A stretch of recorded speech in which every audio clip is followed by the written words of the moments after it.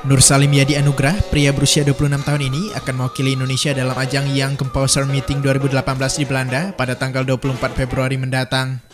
Yadi merupakan satu di antara 16 komponis muda dari seluruh Nusantara yang terpilih untuk menulis karya dan akan dibahas di Young Composer Meeting Belanda. Dalam karyanya ini, Yadi membuat musik yang mengidentitaskan dirinya, seorang pria asal Indonesia yang lekat dengan budaya Kalimantan Barat.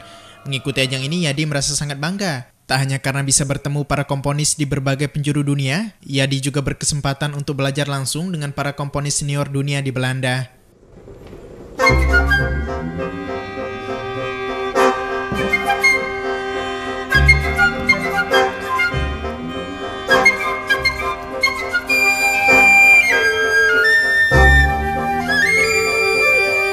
Bisa berangkat dengan menggotong keterampilannya, Yadi harus memiliki dana minimal 1.700 euro hingga 2.000 euro dengan dukungan dari beberapa pihak.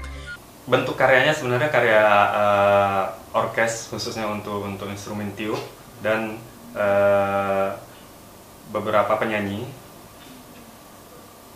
Dengan ide uh, sebenarnya yang saya bawa ada muatan-muatan uh, lokal di sini yang saya coba saya transfer ke dalam fenomena-fenomena uh, universal sebenarnya tapi tetap dalam ke ke uh, keindonesiaan saya gitu karena uh, walaupun musik yang yang yang dibawa ini uh, musik ini di menggunakan instrumen-instrumen barat gitu kan atau instrumen-instrumen klasikal barat tapi uh, tetap dengan ciri keindonesiaan yang yang saya punya seperti itu.